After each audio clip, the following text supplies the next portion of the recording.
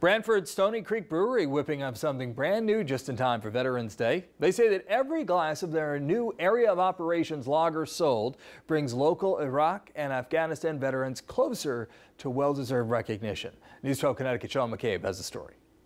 Veterans are of those wars are making sure that their service gets recognized. Army veteran of Afghanistan, David Vieira, has been spearheading the effort to build Connecticut's first monument to the wars in Iraq and Afghanistan. It's going to be black granite and stainless steel. Um, it's going to be positioned right in front of a charter oak tree at the War Memorial in Danbury. With city officials on board, looking for funding fell to the members of VFW Post 149, where Vieira is senior vice commander. The majority of our membership is Afghanistan and Iraq veterans, especially on the active side. So um, it kind of just kind of it kind of made sense. The veterans finding a fundraising partner in Stony Creek Brewing. Their goal is to have the memorial up within a year from today, and we have a year to get them as much money as we possibly can. Stony Creek Brewers say they asked Vieira what he and his buddies most would have liked to drink on a hot day in the desert. They said a nice cold American lager, and thus,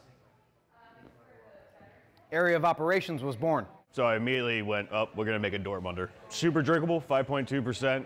It's a crushable lager.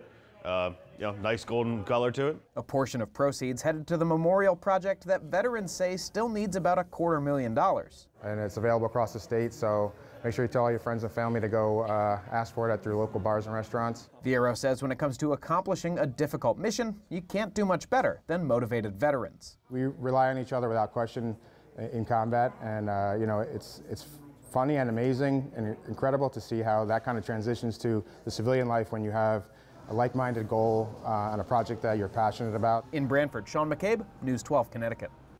And you can donate to the Connecticut Afghanistan and Iraq War uh, Veterans War Memorial Fund by following the link at news12.com.